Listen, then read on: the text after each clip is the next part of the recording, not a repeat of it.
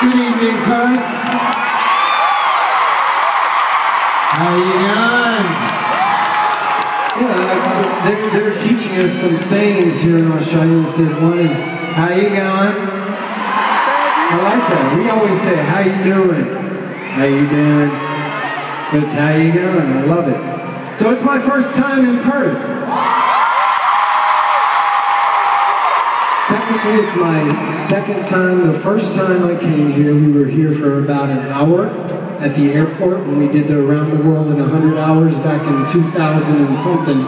We landed and refueled the plane, and then we took off to South Africa or to Rio de Janeiro. But we're here tonight, so that's good.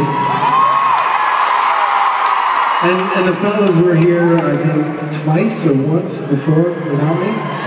So it's good to be back. It's good to be here in Perth, and it's good to be up here again with my brothers performing. We started this tour back in 2013 as a 20th anniversary tour. We had a world like this 20th anniversary album and tour. And we've been all over the world, and we finally got here to Australia.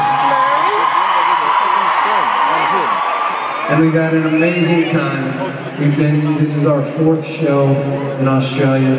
Every city we've gone to has been amazing. And we've got it. We just want to thank you guys for all the love for all the years. We just celebrated 22 years. Now, so far, the most, the craziest crowd we've encountered was Melbourne.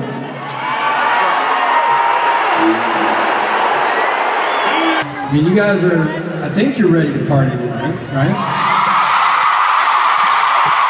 I mean, you sound great, you you sound loud to me, but I, I want to know if you're ready to party like it's 1999.